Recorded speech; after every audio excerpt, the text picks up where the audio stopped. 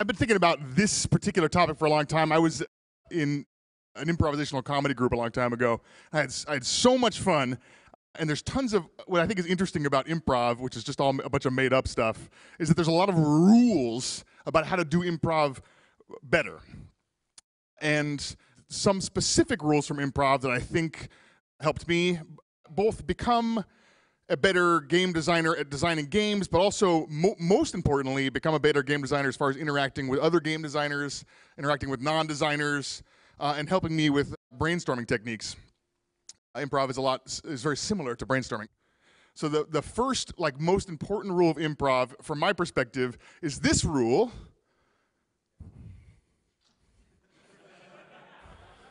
this rule, yes and.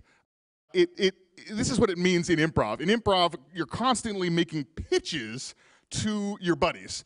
You walk into a scene and say, "Hey, mom, get me something to drink." Uh, what you've done is you've made a pitch. You're my mom, and I'm your son, and I tell you what to do. That's the relationship we have. And the character who you've just declared to be your mother has some options at that point.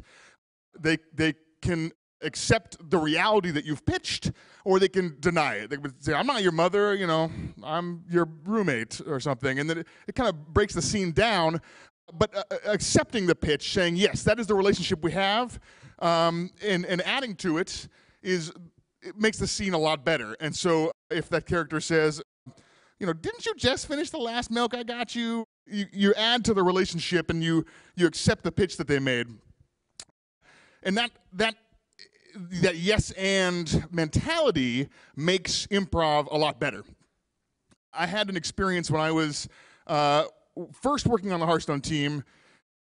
I had a, a, very sobering experience that I wasn't as good of a game designer as I thought I would be. And uh, I worked with Eric Dodds, and he taught me a lot about game design.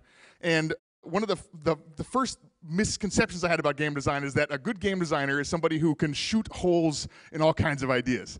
Like, oh, I can see that's not going to work. Let me tell you all the ways that's not going to work. And Dodds would come up to me with some ideas, and he'd pitch something for Hearthstone, and I'd say, oh, you know, they're gonna they're gonna hack that, and that's not gonna be good, and it's not gonna it's not gonna work. And Dodds told me, he said, look, I'm gonna stop coming to you with my ideas. You just shoot down all my ideas, and that horrified me. And I remembered this rule from improv. And so I started, I, I tried this. I said, look, I'm just going to yes and every idea. And it turned out actually what happened was Dodds' ideas weren't actually bad. They were actually really good. And I was just, I was just sure they weren't going to work. Uh, but also, when you start yes anding ideas, even if some ideas are bad, um, you you sometimes find good ideas hidden amongst them. So that's that's yes and. It's why it's important for improv, but we can also use it in engaging with each other. There's a there's like a level two of this concept, and this is more about actually using this concept in the game. And that's this statement here. If this is true, what else is true? And this is also the same concept of there's a pitch, there's a reality, there's something that we've set up, and then taking that to the next, maybe not logical conclusion and I call it finding the game, and just trying to find what's fun about this idea, what's what's cool about this thing that that this reality we've set up. So in this improv scene that I was in, this guy walks on the stage. Oh, whoo! Opens the fridge.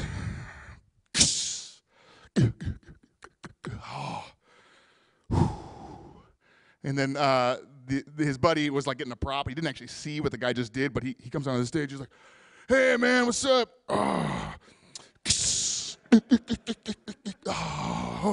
And now he doesn't realize that he's just denied the reality. The, this guy said, The fridge is over here. And he just said, The fridge is over here.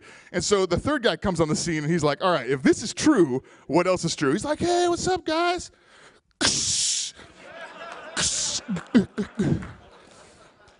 now there's, uh, we're in a room full of refrigerators or a department store. I don't know. So uh, that's that's the game, and, and the rest of the scene was like that. People walked in like, "Oh, what's up? Anyone want a soda?" So we we try and do this on Hearthstone. We did it a couple times. Our next expansion, we're announcing it next week, is the Grand Tournament, and knights and jousters from all across Azeroth come and compete in this grand tournament. And so obviously, like the Horde would send some Horde knights, and the Alliance would send some of their finest knights. But if that's true, what else is true? Well, maybe the Murlocs send the greatest Murloc knight to compete in the tournament. Maybe the pirates send a, a pirate who rides on a parrot with a, a, lance that has a hook on the end. Uh, maybe the centaurs send a knight. He doesn't even have a mount. He just trots in with a lance. You know. and that's that's finding the game. That's finding what's fun about the idea and and carrying it out to a, a crazy place. There's another thing that improv can help us with, and that's brainstorming crazy ideas. And this is a, a thing that some improv people use both to help them practice coming up with ideas, but also to help break down these mental barriers. We spend all of our lives learning not to say that stupid thing. People will laugh at you if you say that.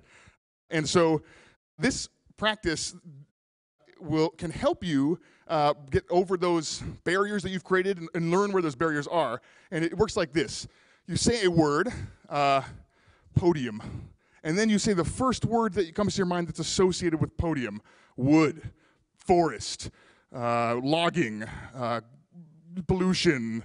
Uh, civilization, and you just keep going. You try and say the first thing that comes to your mind, and just do it as many times as you can in 60 seconds.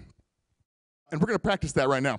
So I'm going to say a word, and then Dodds, uh, have you say a word, and then Pat and so on. We'll go down the line and just say, I'm just going to say a word. It's okay. It's going to mess up. Just say the first thing that comes to your mind. All right. Here we go. Microphone. Ben Brode. Ben. all right, sorry guys, sorry guys, sorry guys. All right, all right, all right. Jeans. Uh, pants. Down. Shoes. I said shoes, shoes. Off. On. On, here we go. Lost. Found. Dog. Great, this is perfect. All right, that's associated list. You guys got it. That's great. And that just doing that helps you practice just just going just saying what comes to mind. And this can help find those those things that are catching you up. I, that, I think that does help with brainstorming, but there's another, there's like a harder version of this called disassociated lists. And this is where instead of saying the, the first thing that comes to mind that's associated with that thing, it's sort of the opposite. You have to say the first thing that comes to mind that's definitely not at all associated with that thing. So that might be something like this Podium, Godzilla, Justice, uh, M&M's. Uh, I forget. Anyway, so. Uh, so that's that's an example of disassociated lists. Let's practice that. Let's see if. Uh, all right, here we go. Uh, uh, gospel. Brussels sprouts.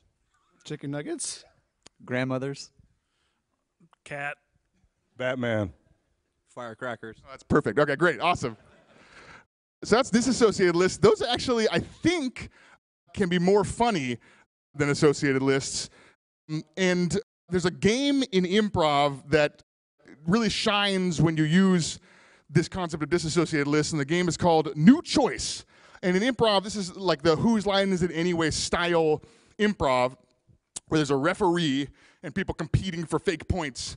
And uh, a, a, team gets up on stage and they're doing a, a, scene. And at any point during the scene, after somebody says a line of dialogue or, or does an action that com- commits to a, a story element, the referee can yell, New choice! And that person has to then like scratch what they just did and say, say or do something totally different.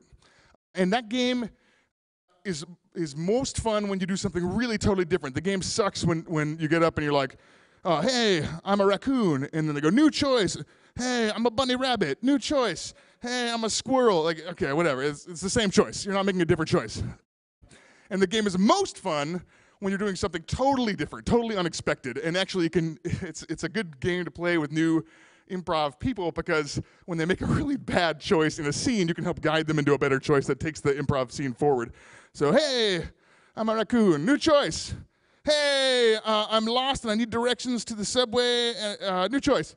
Uh, hey, I'm President Obama and I'm here to give everyone Obamacare. Uh, new choice. And so that just just going totally different where you were before, and getting out of your comfort zone and where you're thinking is is is awesome. So for game design, for brainstorming, I really like thinking about this game and thinking about, you know, often when we when we are trying to brainstorm a solution to a problem, we're thinking about that problem and the, the classic ways those problems are solved. And, and New Choice thinks about it in a totally different way. And and sometimes that takes you to a really brilliant place. When we were designing the arena for Hearthstone, we were stuck for a really long time on asynchronous draft. Traditional card games were played in draft mode by eight players sitting around a table, and you pass a pack of cards to the left, and you get the rest of a pack of cards to the right. If you played Seven Wonders, it's the exact same thing. And you, you build your deck slowly by a, a communal table, and it's really fun.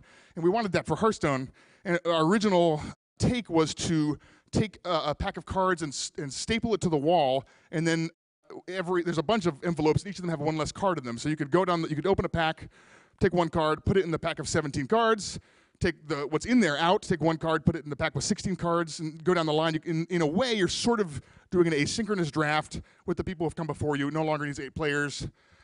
But it was it had a lot of other problems, and we were trying to refine all those problems. And eventually, we did a totally different thing where there is no draft with other players. You're just looking at three cards, and you build your deck on the fly. It's got some of the feeling of draft, but but it's a very different direction and it was this kind of idea of just kind of looking at things from a totally different angle and not trying to like polish this one thing that we had already decided we were going to do, but thinking about it in a really different way that led us to what I think is a really cool mode in Hearthstone.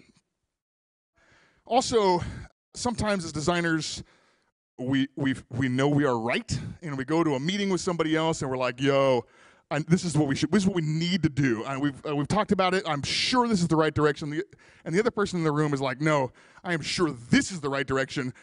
And sometimes the right direction is none of those things, and just having to like yell, having someone yell "new choice" and thinking about something that's maybe neither of those things. Maybe that's the right direction, and, and thinking about new choice and breaking up the things that you are sure are correct and thinking in a totally different direction. That could sometimes help when you're arguing about what you think is right. So those those are some of the the rules of improv that I remember that helped me out. Yes, and not denying the reality and denying other people's ideas, building up those ideas and, and adding things to them and making people feel empowered. Finding the game, trying to find what's cool about a, a reality or an idea and adding to that and making it a thing. Doing associated lists to help you break down those mental barriers and become a better brainstormer. Disassociated lists too. And this game, New Choice, which I think helps both uh, brainstorming and challenging the ideas that you believe are sacred uh, that may not be. Those are kind of the, the things that I, I learned from improv that I think helped me a lot and may help you as well.